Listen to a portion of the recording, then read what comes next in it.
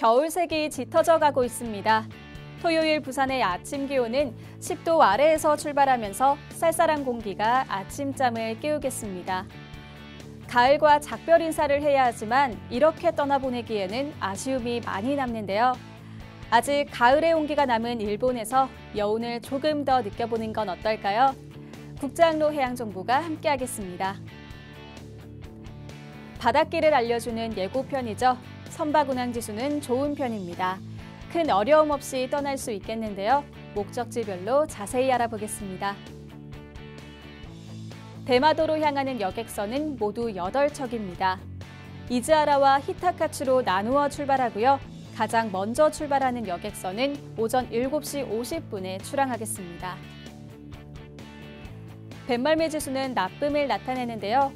대마도까지 비교적 짧은 거리라 멀미약 먹는 게 고민된다면 간식으로 달달한 사탕 또는 초콜릿 챙겨가시면 좋겠습니다. 토요일 하늘빛은 구름이 많아 흐리겠습니다. 낮 최고 기온은 16도고요. 바람이 불어 쌀쌀하겠는데요. 따뜻한 점심 식사로 속을 든든히 채우고 여행 시작하시면 좋겠습니다. 이어서 후쿠오카행 여객선입니다. 비틀호가 오전과 오후를 맡아 출발하고요. 땅거미가 내려앉은 바다로는 뉴 카멜리아호가 출항하겠습니다. 여행에 앞서 뱃멀미 지수도 확인해 볼까요? 바람이 강해서 흔들림이 예상되는데요. 멋스러운 출국 패션보다는 혈액순환이 잘 되는 넉넉하고 편한 옷을 준비하시면 좋겠습니다.